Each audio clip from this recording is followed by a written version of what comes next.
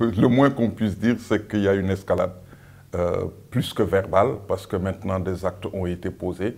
Et le renvoi d'un ambassadeur est quand même un acte fort pour un pays euh, qui reçoit des forces militaires euh, de la France. c'est quand même un acte important qui a été posé et qui, me semble, va avoir des conséquences politiques dans les relations entre les deux pays. Euh, déjà, les autorités françaises se donnent un certain nombre de jours pour réfléchir sur la conduite à tenir. Et euh, le moins que l'on puisse dire, c'est qu'on risque euh, de parler de la présence militaire au passé. Parce que je, je pense que les, les, Français vont vouloir vraiment poser un acte fort et ça va être le rappel des forces militaires françaises. Pour les remplacer par qui? Les Russes. Mais c'est remplacer euh, un pays qui a des intérêts politiques, militaires et peut-être économiques par un autre pays qui a des intérêts politiques, militaires et économiques. Donc, fondamentalement, on ne change pas la donne au Mali. On ne règle pas le problème de fond qui est mettre un terme au djihadisme, qui est recoudre le tissu social qui, est parti en toutes pièces euh, depuis quelques années. Et ça, je pense que les militaires ne semblent pas prendre conscience de cela.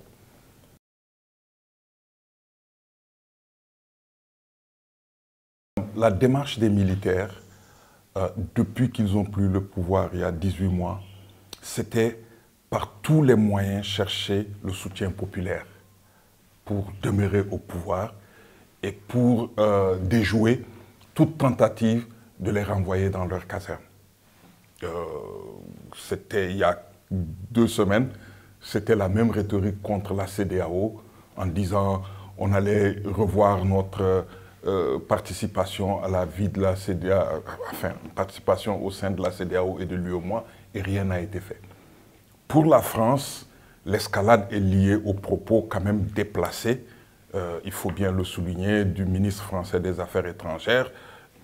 vous ne pouvez pas, même si vous êtes ministre français des, euh, français des Affaires étrangères, parler d'un pays et d'un gouvernement avec les mots qu'il a utilisés. Donc, visiblement, euh, les autorités maliennes ont été ulcérées par ces propos. Mais de là à prendre un acte aussi fort que le renvoi de l'ambassadeur, il y a quand même euh, ça me paraît assez fort, surtout dans le contexte où le Mali est en train de chercher euh, les moyens euh, pour assurer sa propre sécurité, pour essayer de reprendre le terrain qui a été perdu pendant ces années de combat contre les djihadistes. Donc vous voyez que les autorités maliennes cherchent un soutien, mais dans le fond, à y regarder de près, il y a comme un déplacement du conflit actuel en Europe au niveau de l'Ukraine entre la Russie et les pays membres de l'OTAN et qui se déplace sur le terrain malien parce que en posant cet acte, c'est peut-être pousser euh, les autorités françaises à retirer leurs forces et peut-être qui dirait à les remplacer par les forces euh, euh, russes qui viendraient aider les Maliens. Mais il ne faut pas se leurrer. Euh, toute force étrangère vient défendre ses intérêts et pas autre chose.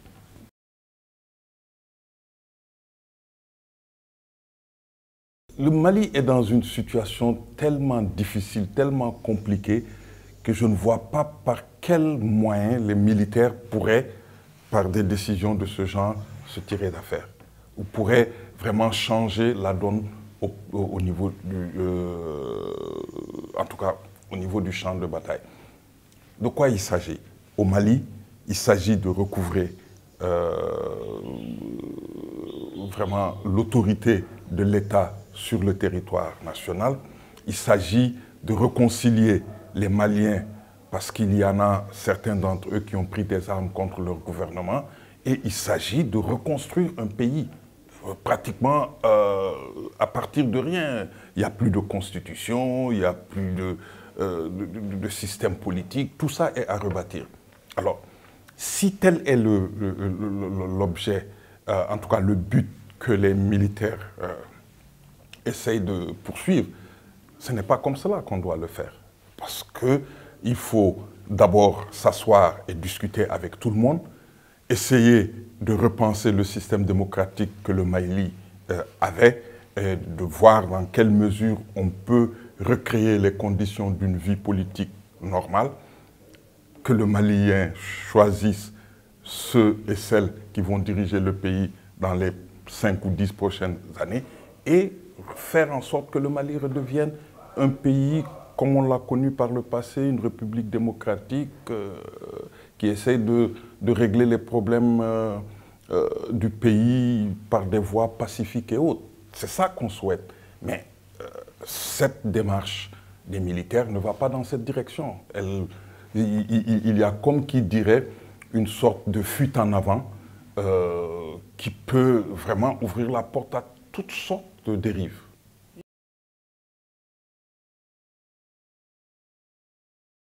Une chose est claire, c'est que derrière tout cela, il y a la perte d'influence de la France. Ça, je pense que ça prendra énormément de temps à la France pour retrouver le statut qu'elle avait euh, avant euh, enfin, euh,